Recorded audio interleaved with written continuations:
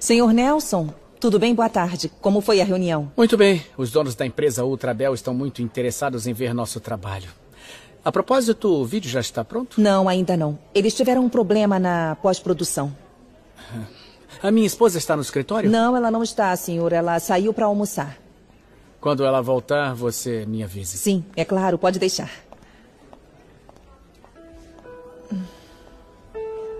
Vamos, Salviano.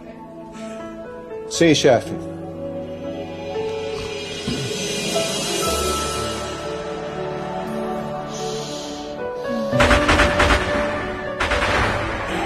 Quer se casar comigo? É.